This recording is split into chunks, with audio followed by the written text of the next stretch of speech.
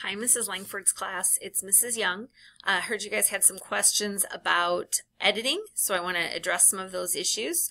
Uh, we're at the Avon High School library page right now. Just a reminder that we're going to go down to where it says video editing. And um, I'm going to pick, you can pick really any of these. They're all good. Um, Adobe Spark is really nice and easy to use. And I'll show you that here. I am already logged in, so I'm going to go ahead and just start a new project here. And so I click on the plus, it's going to say, what do you want to do? I'm going to do a video. It's going to create and open my video recording. It's going to ask you for a title of that. So I'm just going to put my culture. You can probably come up with a much better name than I can. We're going to go ahead and say start from scratch here.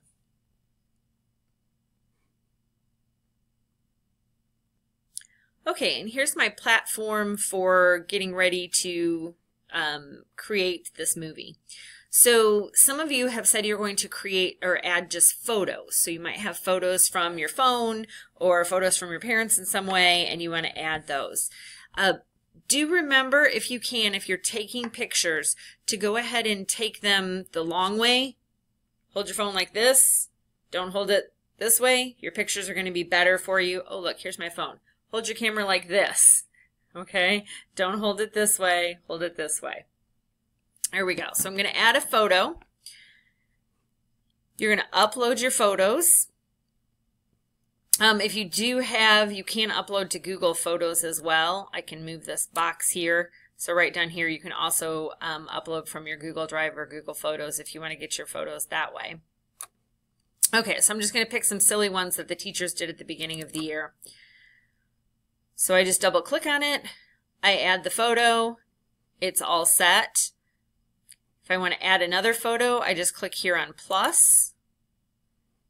It's going to allow me to add another photo. I'll add one more so we can have two of them. Here, here was a silly photo that we made.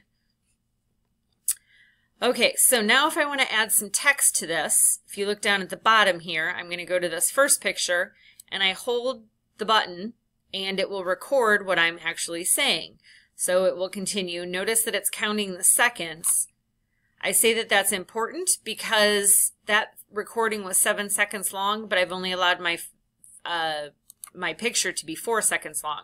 So I'm going to need to change that. Okay, so we can see that our timing is here, like I said. If we want to go to the next video, um, we can record something else. It'll record what I'm saying right now. And again, I'm just holding that button in and then it'll stop. Now over on the right, you can also see some additional information. Um, like right now it's automatically playing music, so I can change the music that I want um, it'll play it in the background behind what my talking. So that's okay for that to happen or you can just turn it off completely if you don't want it. There's some themes and some different layouts that you can take a look at as well. Um, when I'm all set oh I didn't do the text part sorry. Um, we can add text to it if we want to so we can um, my family and I can put some text in. It'll ask me to drop it in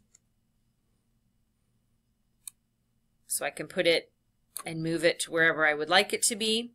Um, I can also change it, got to move my picture again, um, so that it's more of a caption if I wanted to do that, or title and text. So you can just really switch this around a lot and, and make it whatever you want it to be. So then I can play my sample video, the button, and it will record what I'm actually saying. So it will continue. Notice that it's counting the second towards something else. It'll record what I'm saying right now. Again, I'm just holding that button in. Hold the button.